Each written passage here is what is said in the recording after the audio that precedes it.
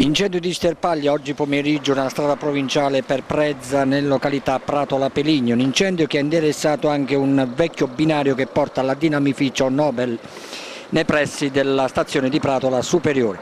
Un incendio di Sterpagli dove diverse ore i vigili del fuoco, la protezione civile di Sulmone e la Pivec di Pettorano stanno lavorando incessantemente per domare le fiamme. Le fiamme sono partite praticamente da un'abitazione qui nei, lungo la strada provinciale per Prezza, si sono allargate verso il binario morte fino alla zona che costeggia la strada per il dinamificio. Un incendio comunque che non ha creato oh, danni alla vegetazione, eh, però c'è stato molto panico perché nei pressi c'erano due abitazioni civili.